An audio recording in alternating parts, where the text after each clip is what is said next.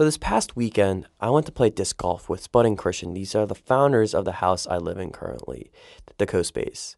And they view everything differently. They think of everything as a journey. And this is really interesting to me because it dawned on me that everyone is at a different point in this journey.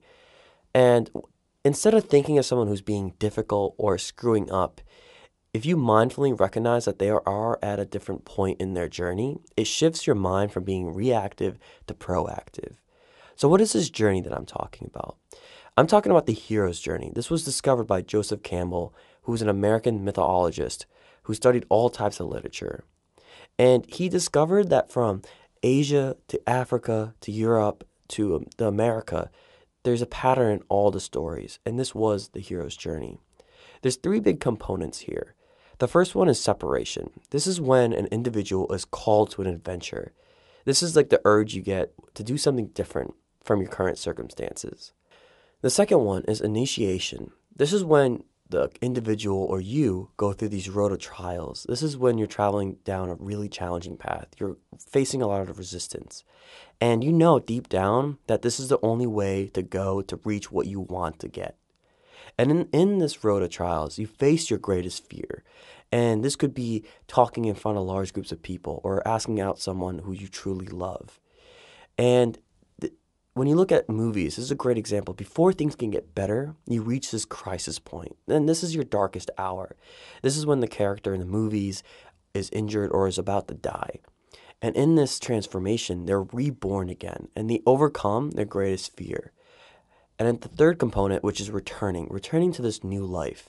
And they've outgrown their old life. And in this new life, they've reached a new status quo.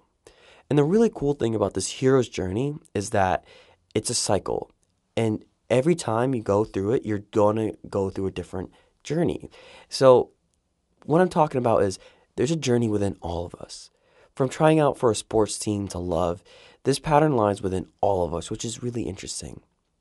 Because at some point, we as individuals need to go outside our comfort zone and go through these difficult trials because that's the only way to achieve your goals, your dreams, whatever you want.